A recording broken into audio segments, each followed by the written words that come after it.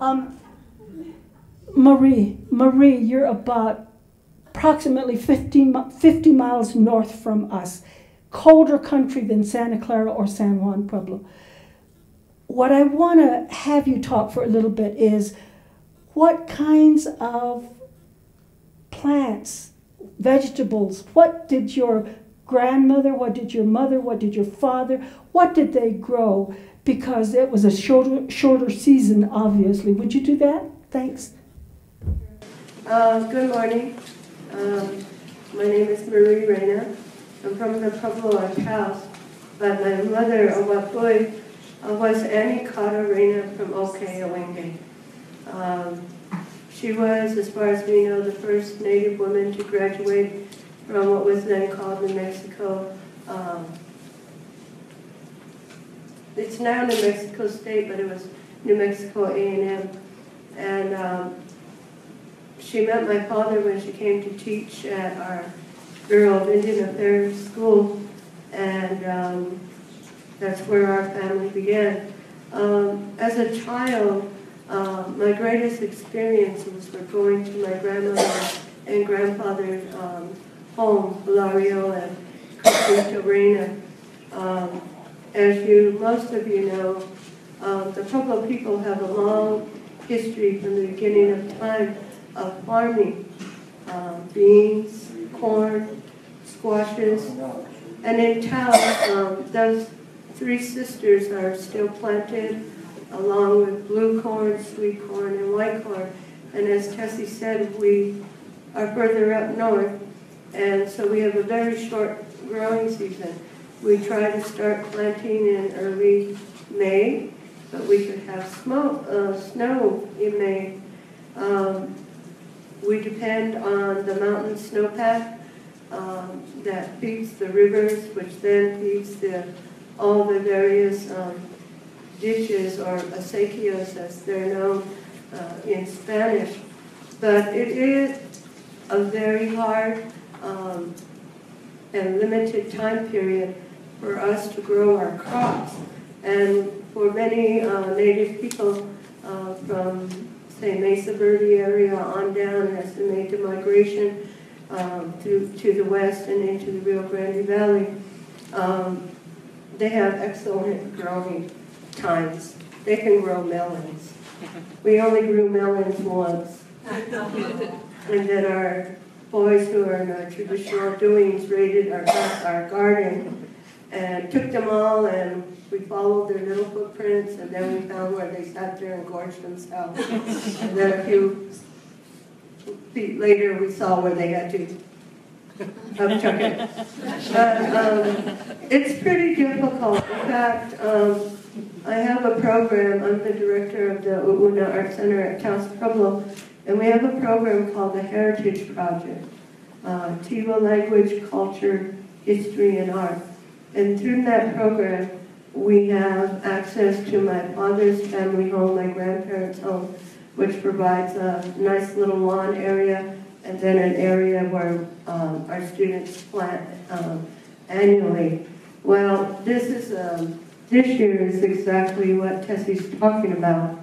Everything was going well. Our plants, our beans, our squash, our pumpkins, our blue corn were coming along really nice and then we got no rain. And then when we have no rain and we didn't have the large amount of snow uh, pack in the mountains, the level of the river uh, begins to drop.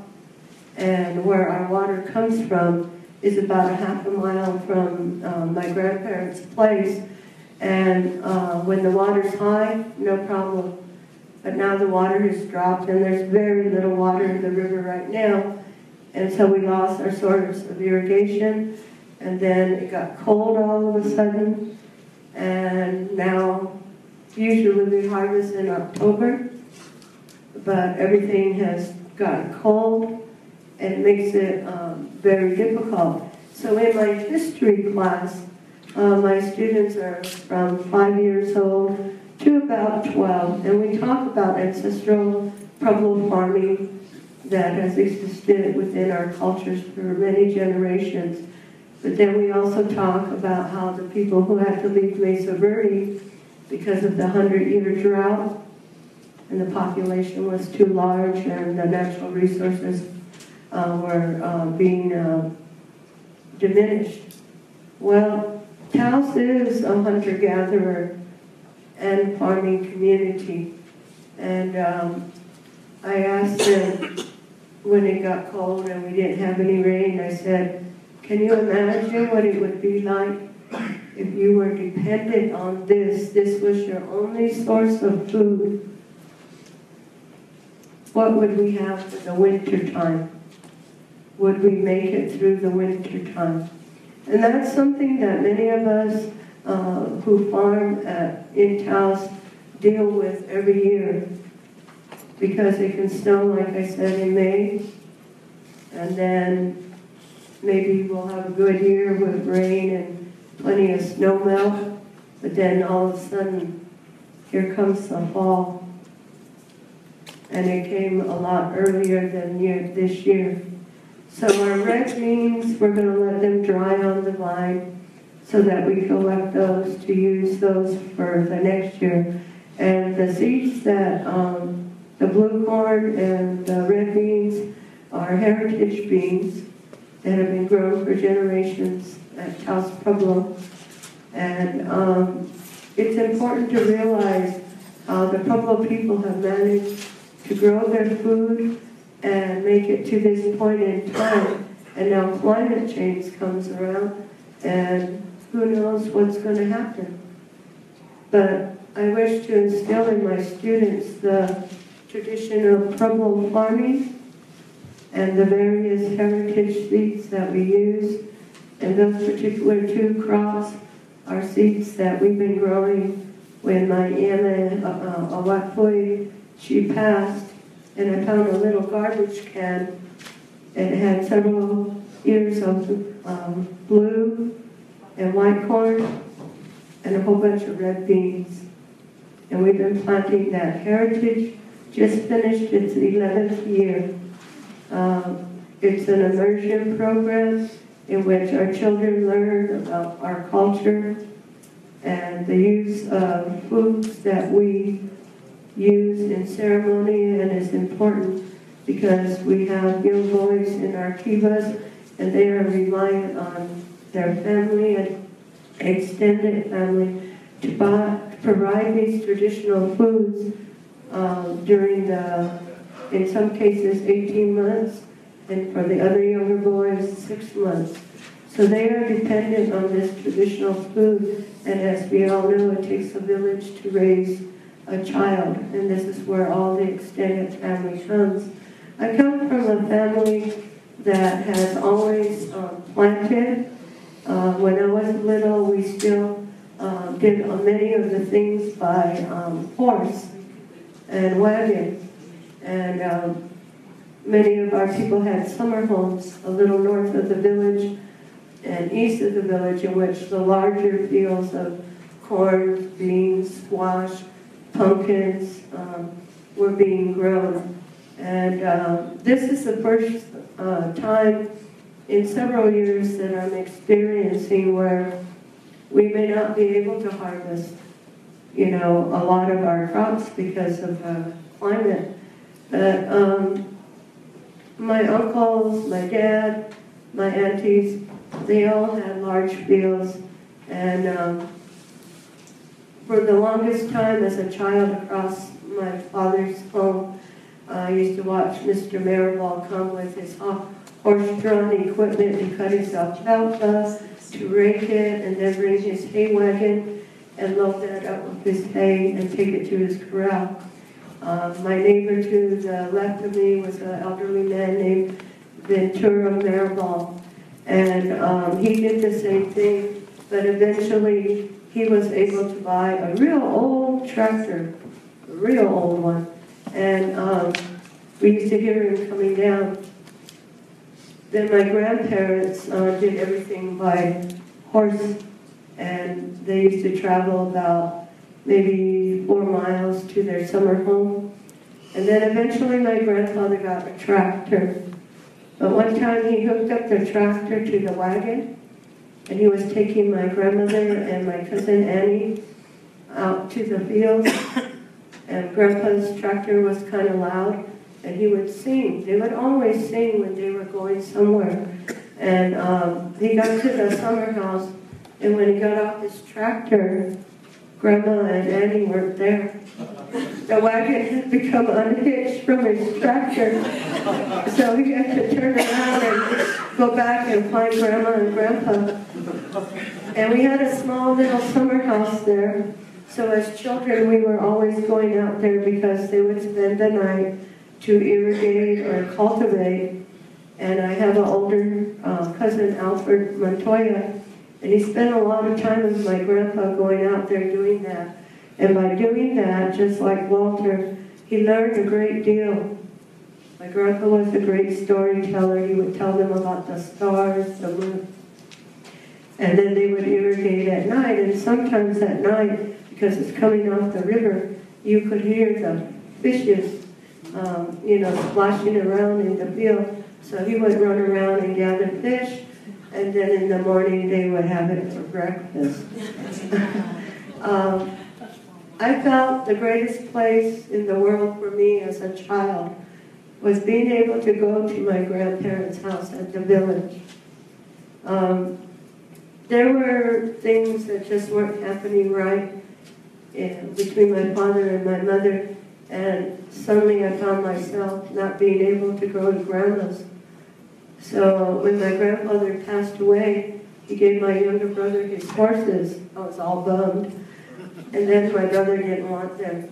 So my dad gave them to me, and I had transportation. So my mom would have my chores ready, and as soon as I got and sometimes I um, get up at night and do some of the my chores so I could get done by lunch. And after lunch, I just get my horses and um, I'd ride up, I'd pick up a cousin or two or another friend that had a horse. And, but all the time, I always went to see my grandparents first. And from there is where I got my foundation.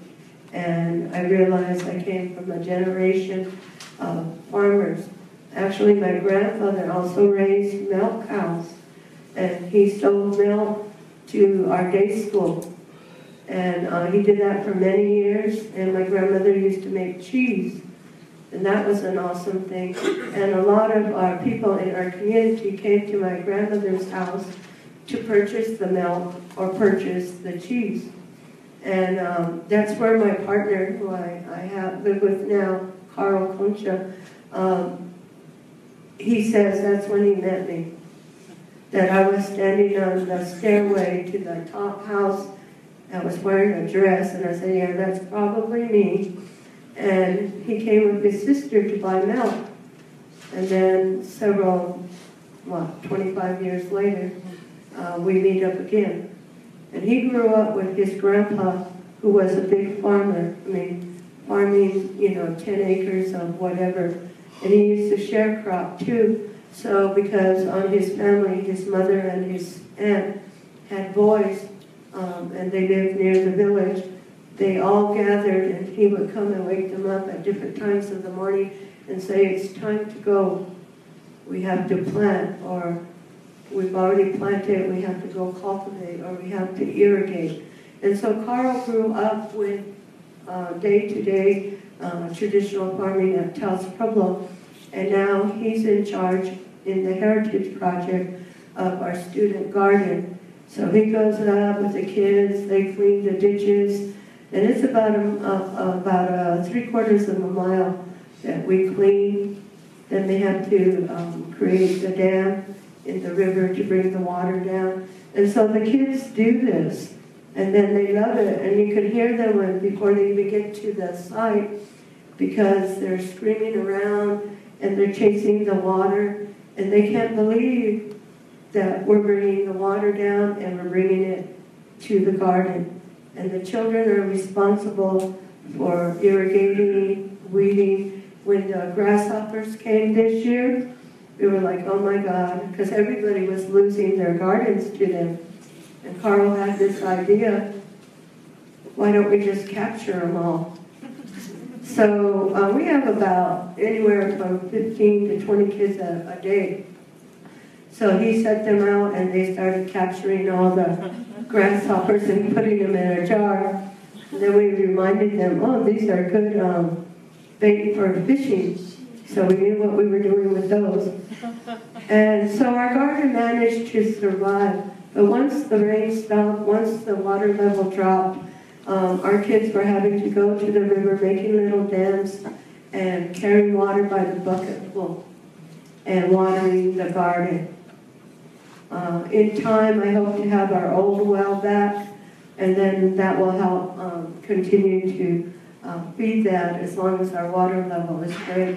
But we still grow the traditional foods that our Pueblo has been growing for generations, and we have made the adjustment. I think that's one of the greatest qualities of Pueblo people is that we're very flexible, that we will adapt to whatever situation we have and use whatever skills our grandparents and our ancestors left to help us uh, make our gardens grow.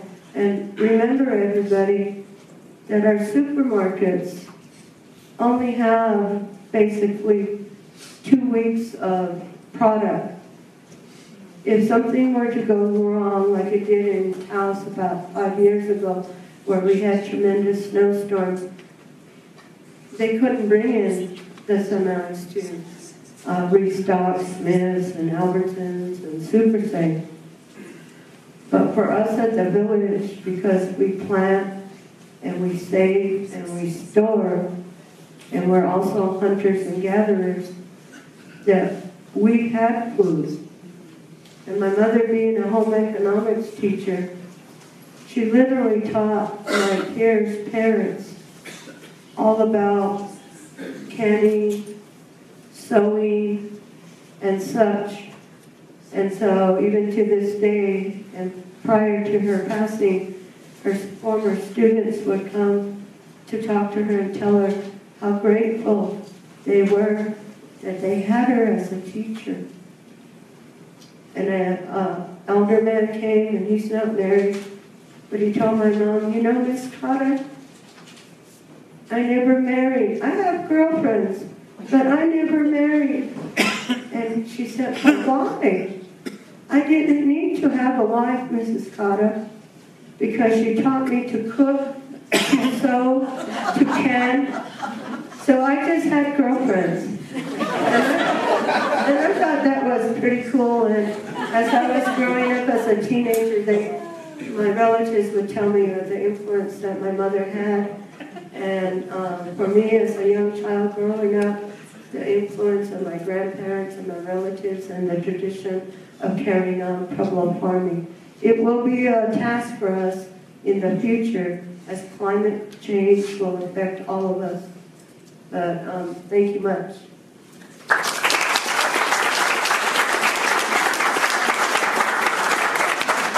Marie, uh, grasshoppers were bad at Santa Clara. We couldn't grow anything either.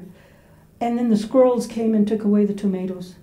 But you know what? Uh, in the same book that was put together, uh, there's a quote that, that I'm reminded of when you talk about inhibitor things that keep our crops from growing, whether it's the cold weather, whether it's a fall coming too, too quickly, uh, insects, grasshoppers, squirrels, whatever it is. Underhill in 1946 said this about Zuni. He said, Weeds in this dry country were not such a bad problem as the hungry birds.